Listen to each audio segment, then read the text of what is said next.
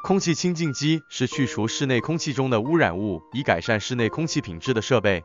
这些设备通常被宣传为对过敏和气喘患者有益，并能减少或消除二手烟。商业级空气清净机被制造为小型独立装置，或可连接到医疗、工业和商业行业中的空气处理装置。二和或 HVAC 装置的较大装置空气清净机也可用于工业中，在加工之前去除空气中的杂质。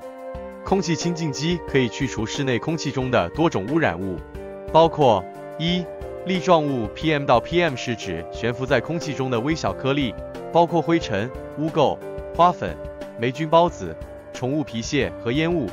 二、挥发性有机化合物 VOC VOC 是各种家用产品排放的气体，例如油漆、清洁用品和空气清新剂。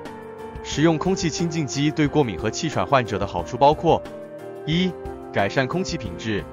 空气清净机去除空气中的污染物，如灰尘。花粉、霉菌孢子、宠物皮屑和其他过敏源，这可以帮助减少或消除过敏和气喘症状。二、减少二手烟暴露。空气清净机可以去除空气中的二手烟，并降低过敏和气喘患者接触烟草烟雾的风险。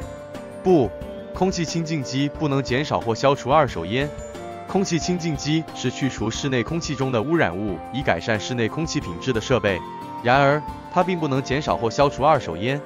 二手烟是香烟、烟斗或雪茄燃烧端产生的烟雾与吸烟者呼出的烟雾的混合物。